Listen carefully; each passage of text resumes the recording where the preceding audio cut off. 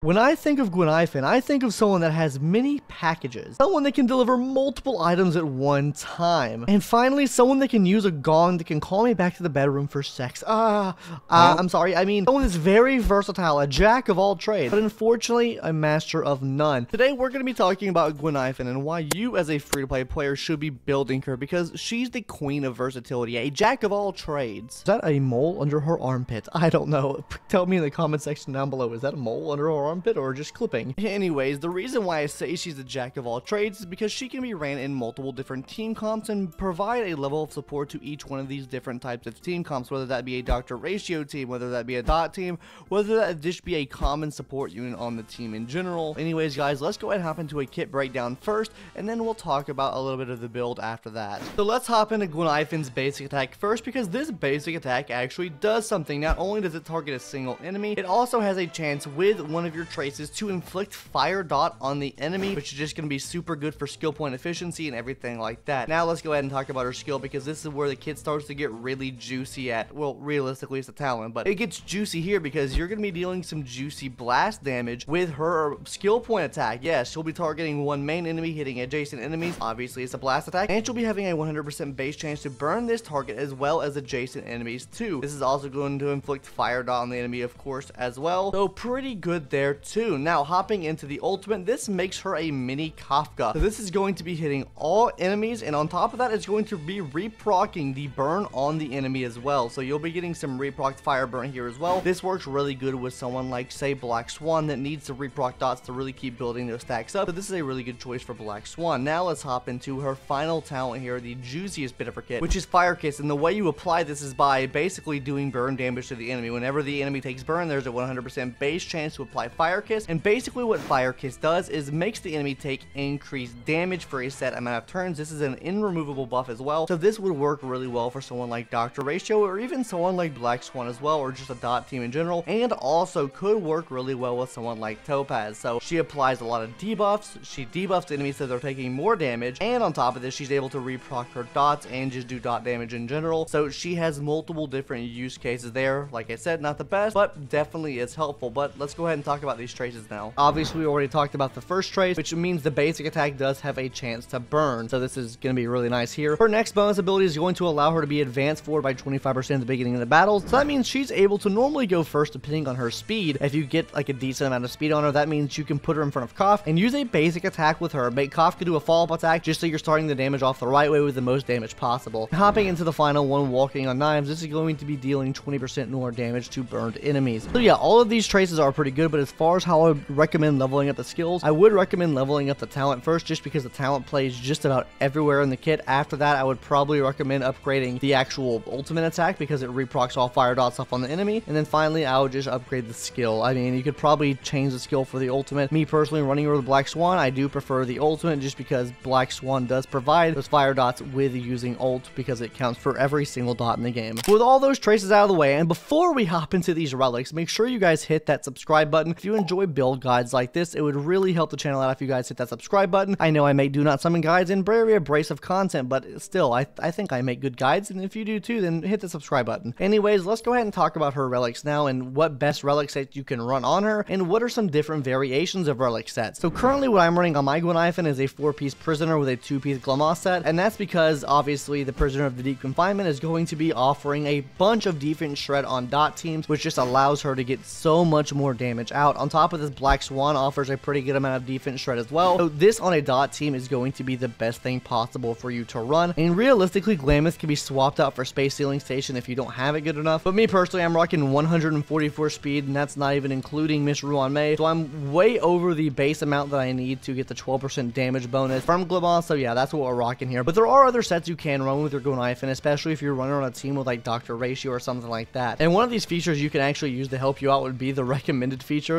Funny enough, two-piece musket, two-piece lava walker, a four-piece lava walker. That's what I would recommend if you're running on a team with Dr. Ratio, just because you're only getting one dot off on the enemy, which is a fire dot. Uh, unless you break the shield, of course, then you can get two dots off on the enemy, which means you get a higher defense shred. But I do think the two-piece musket, two-piece lava would be better for if you're running on a team with Dr. Ratio or not many dots involved. That would be my personal recommendation on that. But, but really, guys, I do use this recommended feature quite a lot, and not for the reason of just finding sets. Usually, the sets up here. I can just click on it, it automatically filters. It just saves me extra steps from going in the actual filter and doing it myself. And there is one very, very sussy set you could run if you planned on doing it, right? And one set I actually use for taking her into Pure Fiction, which is a full break set. I'm talking full break set with an ERR rope, just as much energy regen as she can possibly get. So with this, she's able to break all the enemy shields because they all have fire dots on them because you'll be ulting them. And on top of this, she'll be getting all that energy back to keep reprocking the fire dots off on the enemy. That actually helps out a lot. I'm sure you'll see the gameplay in the background of me doing Pure Fiction with my Guinaifen somewhere in this video. Anyways, you probably want to know what stats to run your Guinaifen, so let's briefly go over that. On the boots, I do recommend speed boots. On the body, I recommend attack percentage body. On the orb is going to be fire damage boost, and on the rope is going to be attack percentage. Of course, like I said, for Pure Fiction, I do recommend a full break build with the ERR rope instead. These are like the main stats you want to run. As far as those substats go, though, substats are pretty actually easy and simple, honestly. It's just going to be speed, attack percent, effect hit rate. These are the only three stats you realistically want. You can slot extra break effect in there if you if you're running a break build for her. If you're she's not going to be your designated breaker, you really don't need that too too much. But really, attack percentage, speed, and some effect hit rate in her kit would be really really nice. But now with all of those relics out of the way, let's go ahead and talk about Miss Guinaifen's Eidolons, Miss Eidolons. Now I do have her E6. Well, this is nice to have E6 because you get one extra stack of Fire Kiss, which means more damage on the enemy. Honestly, her E1 and E2 are super super good too. She has really good low